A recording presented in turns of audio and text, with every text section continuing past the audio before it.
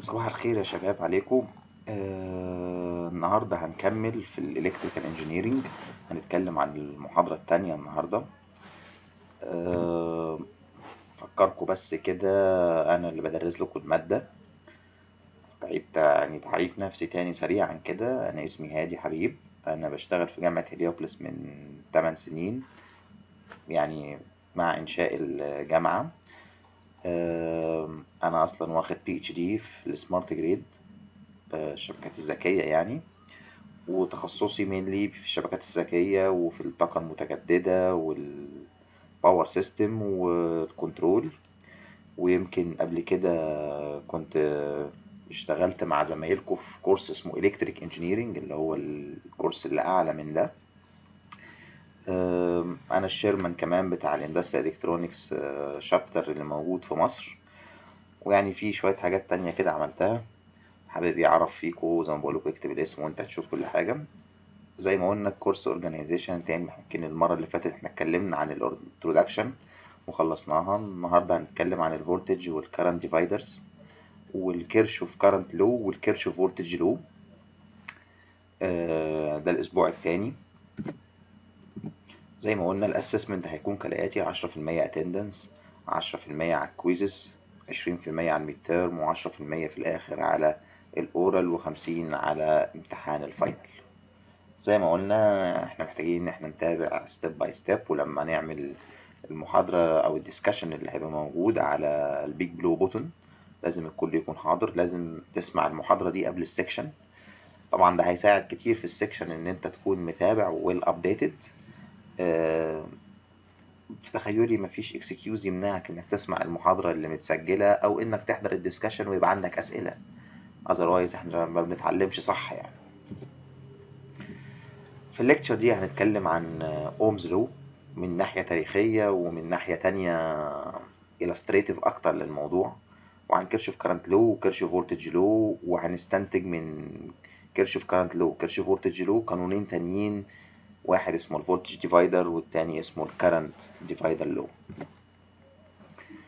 ده يمكن اوم أشهر واحد في تاريخ الكهرباء يعني. الراجل ده عمره كان من 1789 ل 1854 الراجل ده عمل كتاب. الكتاب ده هو اللي فيه Ohm's law اللي إحنا بنشتغل عليه اللي بيقول لك ال voltage اللي على مقاومة directly proportional يعني بيتناسب مع ال current اللي ماشي في المقاومة دي. عايز تعرف عنه أكتر ال link ده هيساعدك إنك تعرف عنه أكتر. يعني في بداية كلامه قال لك إن ال resistance بتساوي rho و rho هنا دي اللي هي resistivity in ohm meter درجة المقاومة اللي موجودة حسب المادة اللي معمول منها السلك اللي هيمشي فيه التيار. لو good conductor هتبقى ال resistivity بتاعته قليلة لأن هو أساسا موصل للكهرباء زي ال copper والذهب ال gold. لو هو good insulator يعني عازل كويس هتبقى ال resistivity بتاعته عالية زي الإزاز أو الورق. تمام؟ المهم ال R بتساوي rho في ال L ده طول السلك A ال area بتاعت قطر السلك زي ما هو مورينا هنا كده ال cross section بتاعه اللي هو ده عامل إزاي؟ دي ال area اللي هو بيتكلم عليها. تمام؟ ومن هنا قلنا إن ال V equal IR أو بمعنى آخر ال I equal V على R. أو ال R equal V على I كله طبعا نفس القانون بس بيتغير. لو التيار أنت عايز تحسب العاكس بتاعه هتبقى ال V equal ناقص IR ده لو عكس اتجاه التيار اللي أنت بتتكلم عليه. يعني التيار داخل من negative ال voltage مش من ال positive بتاع ال voltage يعني داخل كده. هنا كان داخل على ال positive هنا بنتكلم على الإشارة. هنا داخل على ال negative ففي الحالة دي ال V equal ناقص I واحد في R. طبعا الوحدة بتاعته أوم ويمكن عمل الوحدة دي تكريما للراجل اللي هو أوم اللي عمل القانون نفسه. في حالتين بس أنا حابب أوضحهم لك وعشان كده ذكرتهم تاني هنا. ال R بتساوي zero دي معناها إن في مقاومة قيمتها صفر. يعني very high conductor. وفي حاجة تانية اسمها open circuit. open circuit يعني الدايرة مفتوحة. دايرة مفتوحة معناها إن المقاومة بتساوي infinity طبعا بتساوي infinity عشان مفيش تيار هيمشي فيها. بينما في ال short circuit بتساوي صفر. عشان كل التيار هيمشي فيها. تمام؟ خلينا نكمل كلامنا ونرجع لمرجوعنا تاني. فزي ما بحكي لك كده القوانين دي شوية مهمة. في حاجة تاني اسمها ال conductance ال G ال G دي عكس ال R أو مقلوب الار الموصليه دوكها اسمها المقاومة دي اسمها الموصليه ال G equal واحد على R يمكن ال unit بتاعت ال G بتساوي حاجة اسمها سايمنز دي الوحدة بتاعتها بينما ال resistance كانت وحدتها اوم آه، السايمنز ده بيساوي امبير على voltage تاني كان بيساوي أو ال resistance كان بيساوي voltage على امبير لأنها مقلوبها في الحالة دي ال V بيساوي I على G أو ال I equal G V أو ال G equal I على V طبعا كله ناتج من مقلوب القانون بتاع ال V equal I R اللي هو ال resistance هو جاب ال resistance دي وقلبها فطلعت له الثلاث قوانين دول.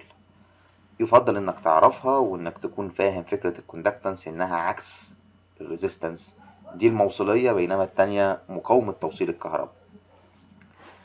في حاجة تالتة برضو مهم إن إحنا نبقى عارفينها من دلوقتي وهنشتغل عليها أكتر في المستقبل. حاجة اسمها ال power ال power ده اللي هو rate of energy dissipation in the instantaneous power. وإحنا عارفين إن ال resistance أصلا زي ما قلنا المرة اللي فاتت ال element اللي بيسحب كهرباء أو بيسحب طاقة زي ما قلنا.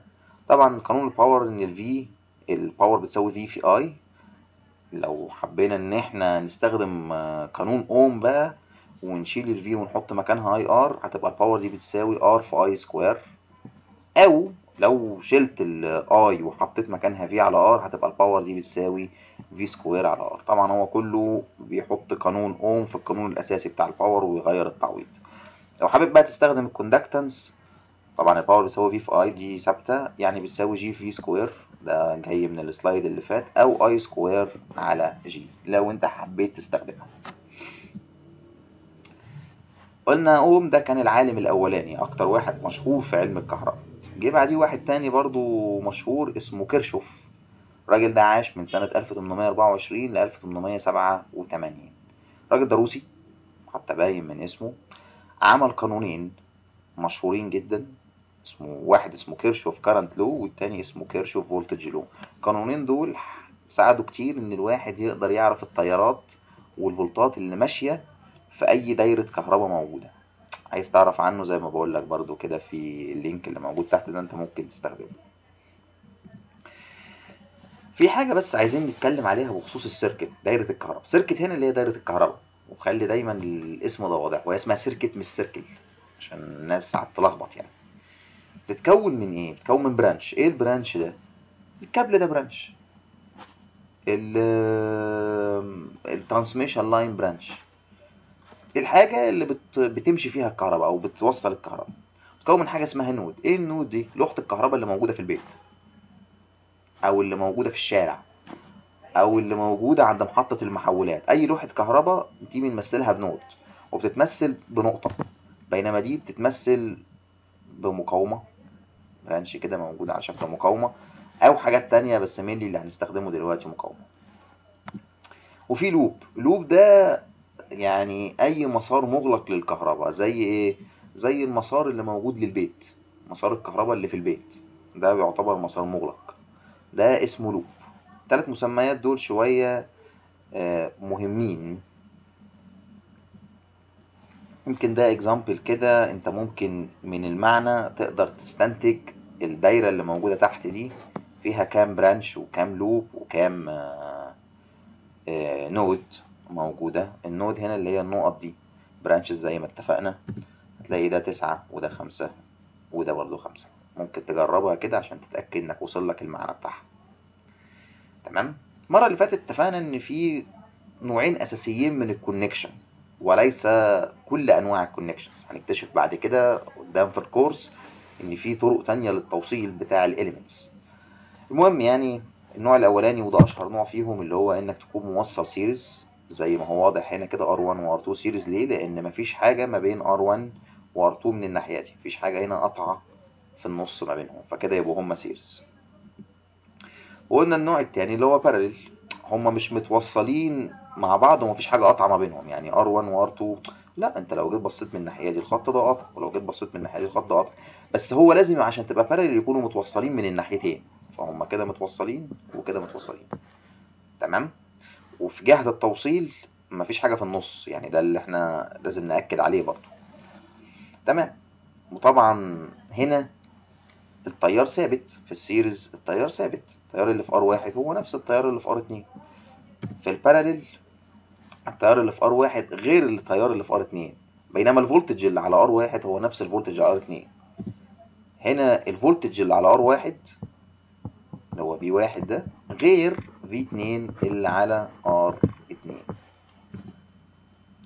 تمام؟ هنا نفس الفولتج اللي هو نفس جهد البطارية. طبعا نفس جهد البطارية لأن هنا مفيش مقاومات. تمام. نيجي لأول قانون هندرسه النهاردة جديد بقى اللي هو كيرشوف current law إيه كيرشوف current law ده؟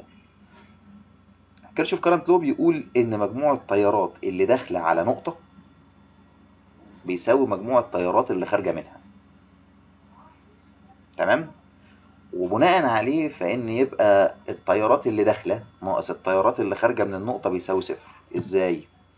نقطة دي مثلا دي node طبعا ال node دي قلنا بتمثل لوحة الكهرباء إيه اللي داخل لها؟ I آه واحد و I اتنين و I أربعة وإيه اللي خارج منها؟ I تلاتة و I خمسة يبقى I واحد. هنقول إن اللي داخل ده هنديله إشارة positive I واحد زائد I اتنين زائد I أربعة. تمام؟ واللي طالع هنديله إشارة negative ناقص I 3 هي خارجة من هنا كده. ناقص I 5 بيساوي صفر. أو بمعنى أدق I واحد زي ما هنشوفها في ال slide الجاية. إن I واحد زائد I 2 زائد I 4 بيساوي I 3 زائد I 5 يعني الاثنين يدوك نفس المعنى. لو حابب تعكس بقى وتدي الإشارة ال positive للي خارج وال negative للي داخل برضه هتديك نفس المعادلة. فالاتنين صح بس المهم إن إحنا نوحد القانون. يا تدي اللي داخل positive واللي خارج negative يا تعكس. مفيش مشكلة الاتنين هيطلعوا لك نفس المعادلة. لأن أنت عارف إنك لو ضربت المعادلة دي في negative 1 هتبقى هي هي. زي ما درسنا كلنا في الرياضة يعني. ده باختصار كيرشوف current law في قانون تاني اسمه كيرشوف voltage law القانون ده بيقول إيه؟ بيقول إن أنت لو عندك مسار مغلق وده بيسموه مسار مغلق أو يسموه loop بيقول لك ال loop دي مجموع الفولتات اللي فيها لازم يكون بيساوي صفر. طيب ودي أعملها إزاي؟ هتاخد نقطة زي النقطة اللي هو معلم عليها دي يعني. هتاخد أول إشارة موجودة عند كل element يعني دي ناقص V naught هتبقى لو انت عايز تمشي كده اهو يعني تمشي مع اتجاهات الساعة. تبقى ناقص V naught بعد كده أول إشارة هتقابلك زائد V 1 زائد V 2 لغاية لما تلف ترجع تاني نقطة مفيش element تاني بيساوي صفر. لو عايز تعكس بقى وتمشي عكس عقارب الساعة هتطلع لك نفس المعادلة بس كأنها مضروبة في ناقص واحد برضه بتساوي صفر. وإن كانت دي ولا دي الاتنين هيدوك نفس المعنى. تمام؟ هو ده كيرشوف voltage law okay؟ أنا عارف ان أنتوا درستوا في الفيزياء الموضوع ده. ومن هنا تقدر تقول إن ال V output أو ال V naught مش V output sorry ال V naught بتساوي V واحد زائد V اتنين. Okay. إحنا قلنا بنعمل إيه في ال series resistance بنجمعها على بعض لأن إحنا هنستنتج قانون دلوقتي. في ال series resistance إحنا قلنا إن ال R equivalent أو اللي هو مسميها هنا R S بتساوي R واحد زائد R اتنين. وبناء عليه فان ده جه منين؟ إن ال V naught اللي هي بتاعت ال source دي بتساوي V 1 plus V 2 V 1 اللي هي الفولت اللي موجود على ال resistance الأولانية بيساوي I في R 1 و V 2 اللي هو الفولت اللي موجود على ال resistance الثانية بيساوي I في R 2 لو حاولت تاخد ال I common factor أو عامل مشترك هتبقى إن ال V naught بتساوي I bracket R1 زائد R2 زي ما هو واضح. R1 زائد R2 ده ما هو ده قانون ال equivalent اللي انت بتجيبه اللي هو ال R S تمام؟ من هنا إن طلع ان ال R equivalent بتساوي R1 زائد R2 هو هنا بيحاول يثبت القانون بتاع ال series اللي إحنا أخدناه المرة اللي فاتت. من القانون بتاع Kirchhoff voltage law. تمام؟ فيبقى التيار اللي ماشي في الدايرة بيساوي ال V naught اللي هو بتاع ال source على ال R equivalent اللي هي R1 زائد R2 لو انت عايز تجيب بقى V 2 وهو هنا الشغل الجديد اللي عايزين نعمله. ال V 2 دي بتساوي I في R 2 ال I دي قانونها زي ما انت شايفه فوق كده. هتبقى ال V بتاعت ال source على R 1 زائد R 2 في R 2 يبقى انت لو عايز تجيب الفولت اللي عند المقاومة الثانية اللي هو ده بيساوي الفي بتاع السورس على مجموع ال resistance اللي موجودة في ال resistance اللي انت عايز تجيب عندها ال voltage من هنا جه القانون بتاعها. طب لو انت عايز تجيب الفولت اللي عند R واحد هتبقى برضو نفس الفكرة. هتبقى ال resistance اللي موجودة اللي هي R1 على R1 plus R2 في الفولت بتاع ال source بنفس الفكرة اللي اتبعناها هنا. يعني باختصار كده أنا لو عايز أجيب ال voltage عند أي resistance من ال two resistance اللي هم series مع بعض في مسار مغلق زي دول كده هنقول إن ال V واحد بتساوي ال V كلية اللي هي ال V total اللي موجودة اللي هي جاية من ال source مضروبة في أنت عايز تجيب ال voltage فين؟ عند ال R1 في R1 على مجموع المقاومتين. نفس الكلام لو أنت عايز تجيب V2 Sorry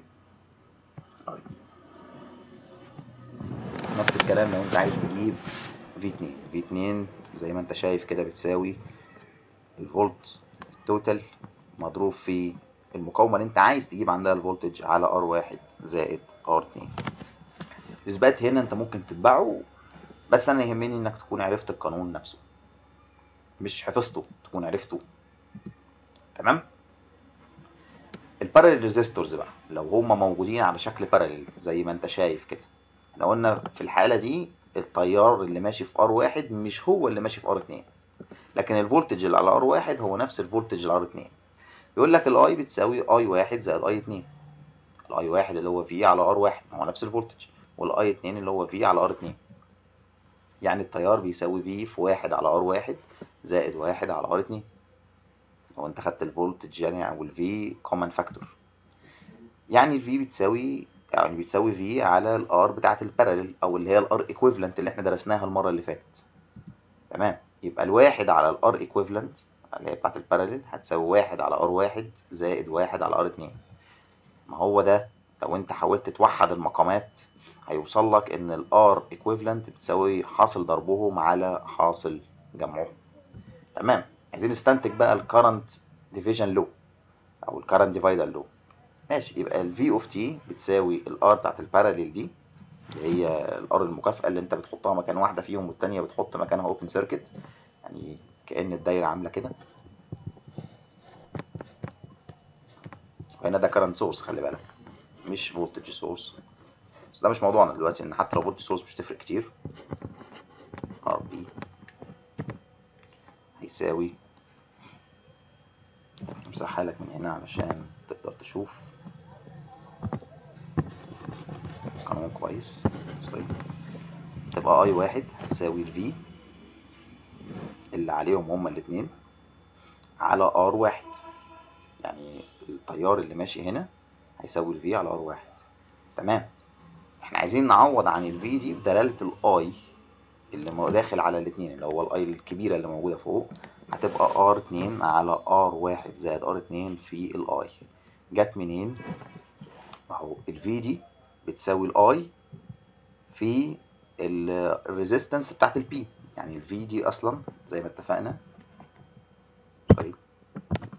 V بتساوي ال I في ال R P وال R P القانون بتاعها هو اللي انت شايفه اللي هو R واحد. في R اتنين على R واحد زائد R اتنين. انت بتقول إن I واحد بتساوي V of T على R واحد.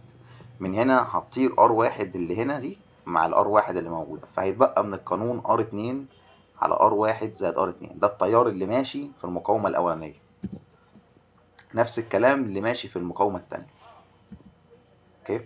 من هنا نستنتج إن I واحد بتساوي R البعيدة اللي هي R اتنين على R واحد زائد R اتنين مضروب في التيار ال total اللي ماشي اللي خارج من ال source وداخل على المقاومتين.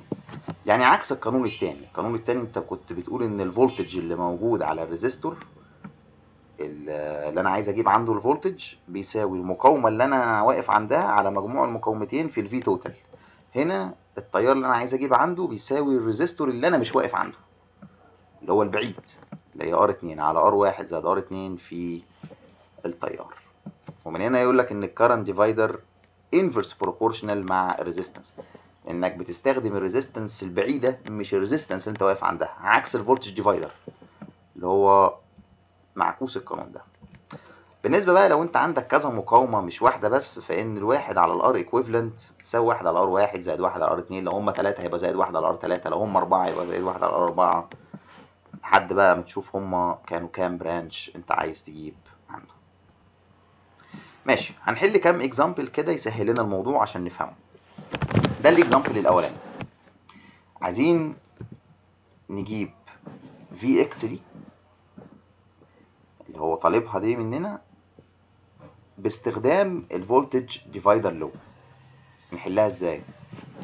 أول حاجة عشان تحل المسائل باستخدام ال voltage divider أو حتى ال current divider ممكن تستخدم ال parallel وال series وتتخلص من كل المقاومات إلا المقاومة اللي هو عايز عندها ال voltage أو ال current تمام. هنا ال voltage اللي هو V X دي مش هو نفس ال voltage اللي موجود على المقاومة الثانية اللي parallel معاها اللي هي الأربعة؟ أنا بس بأكد لك معلومة قبل ما نحل يعني.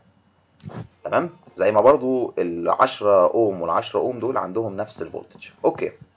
أول حاجة في حاجة هنا series مع اي حاجة؟ هو ده أول سؤال بسأله لنفسي. آه في.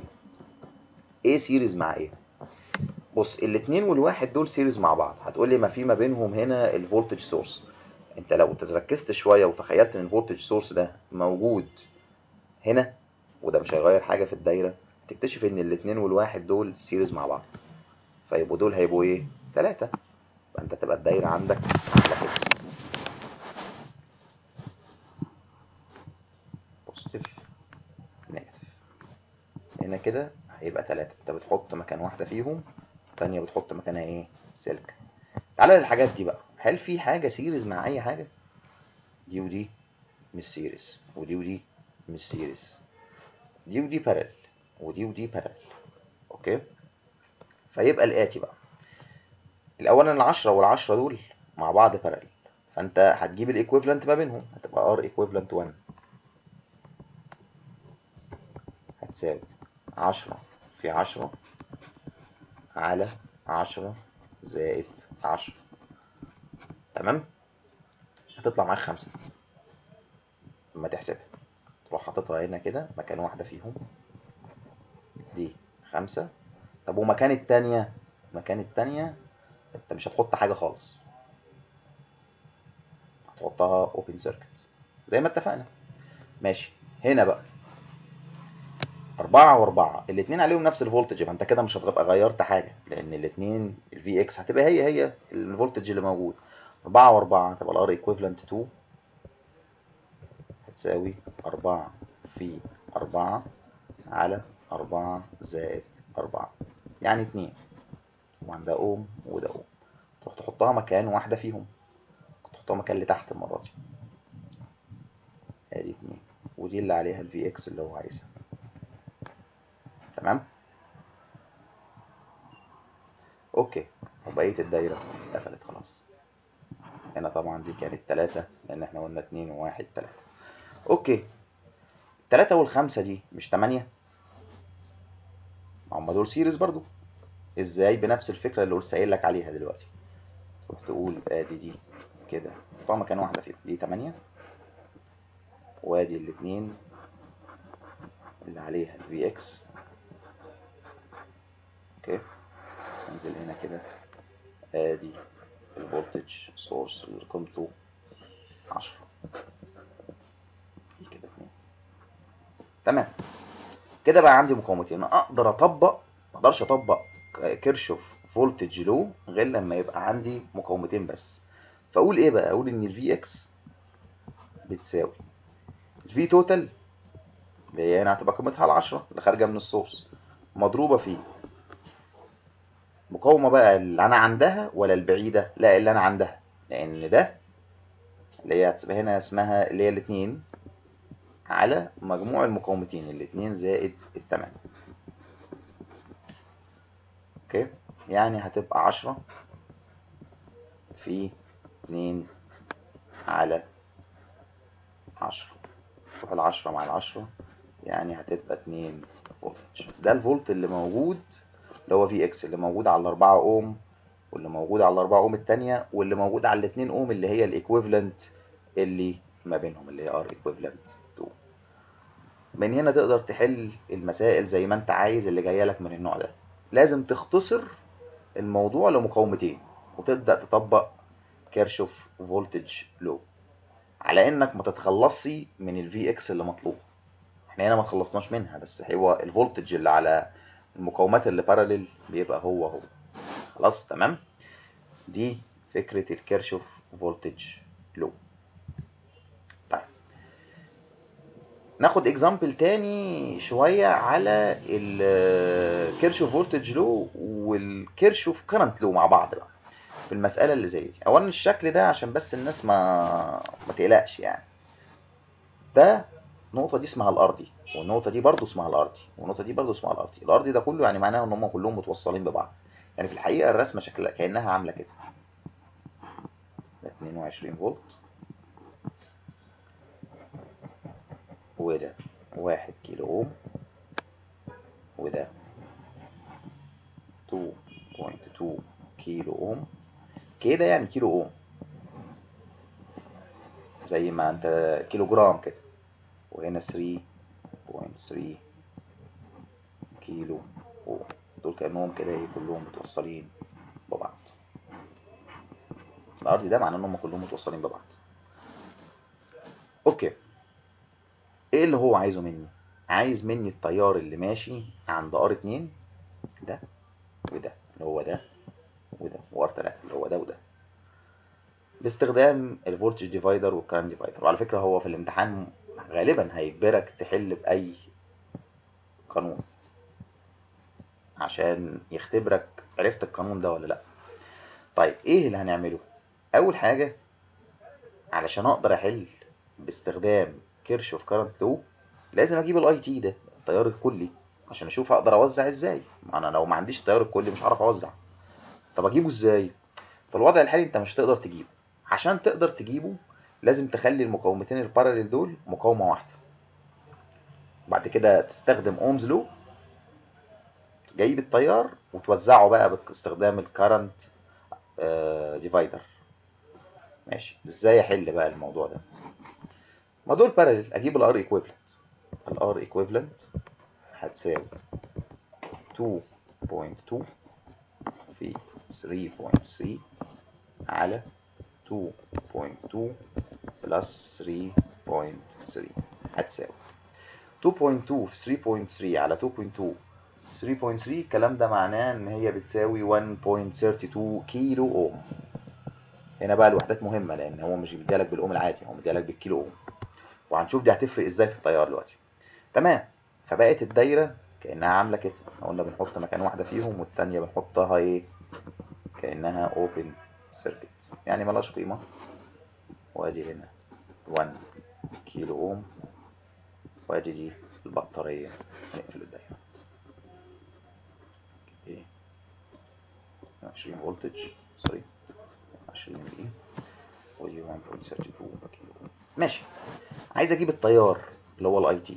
في الحالة دي ال I T اللي هو ماشي هنا اللي هو التيار اللي ماشي في الدايرة اللي جوه اللي هنوزع منه بعد كده.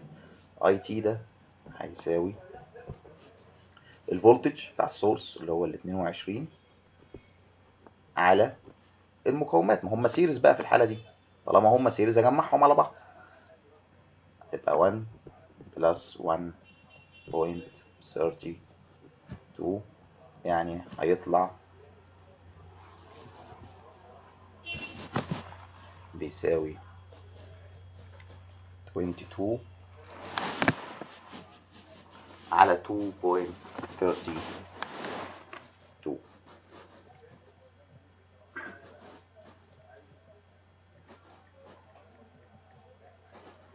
يعني هيبقى 9.48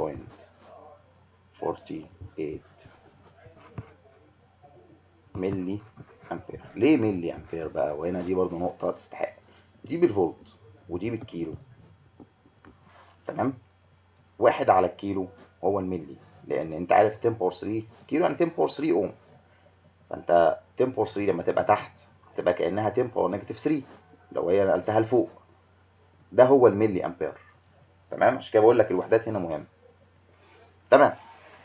يبقى هتبقى 9.48 ملي أمبير. تمام؟ نكمل. كده أنا جبت التيار ده اللي هو خلاص أنا عرفت كده إن ال I T تساوي 9.48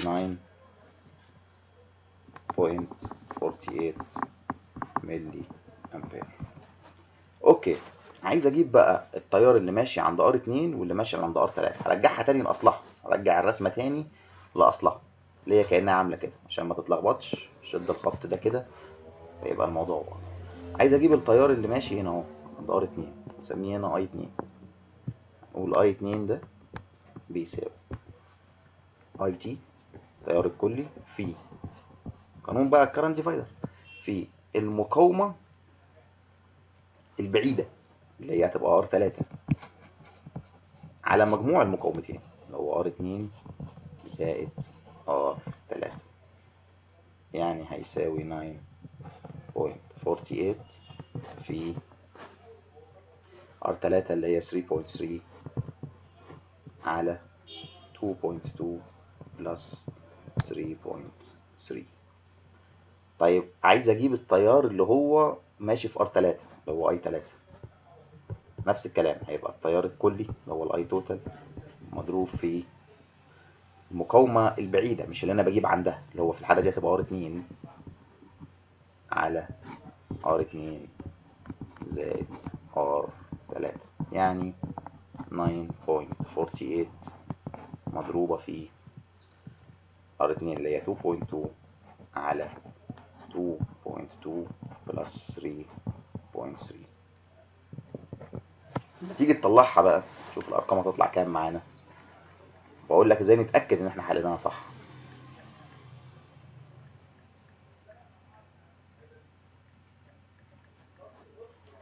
تطلع 5.69 ودي هتبقى equal 9.48 في 2.2 على 5.5 يطلع 3.79 لو حاولت تجمعهم لازم يطلع ال I total في الآخر. يطلع 9.48 فعلا زي ما عملناها. تمام؟ طبعا دي ملي امبير ودي ملي وبكده يبقى إحنا طبقنا القانونين. current voltage law في المسألة الأولانية وفي المسألة الثانية خدنا مسألة على ال divider بتاع ال current تمام؟ دول two assignments فكرتين كويسين حابك تحلهم. شوية فيهم تفكير مش سهلين قوي. حابك تتدرب فيهم كده وتحلهم ك assignment وتقدمهم. والمسألتين هو عايزك تطلع حاجات باستخدام ال current divider أو ال voltage divider وده اللي أنا محتاجه منك في الدرس ده إنك تحل باستخدام أحد القانونين يا ال current يا ال voltage أو ربما القانونين مع بعض في نفس المسألة. نهتم شوية بالدرس ده لأنه شوية فيه فكر زي ما بوضح لك كده. Examples دي أنا مختارها قاصد يعني. هي سهلة مفيش فيها حاجة بس أنا حابب إنك تتعلم المهارة دي وتشوف إحنا حليناهم إزاي. والقوانين المهمة فيه اللي هي بتاعت ال current division وال voltage division مش عايزك تحفظ الإثبات أنا بس كنت بفهمك هو جه إزاي لكن يهمني إنك تبقى عارف القانون. طبعا أنت هتعرف القانون من كثرة الاستخدام يعني إنك هتحل كمان في ال section وهتحل ال assignment اللي في المحاضرة وهتشوف دي اتحلت إزاي. أنا بشكركم جدا. آه مسألة ال lecture هتترفع على اليوتيوب. وهينزل ال link إن شاء الله على ال Moodle شكرا.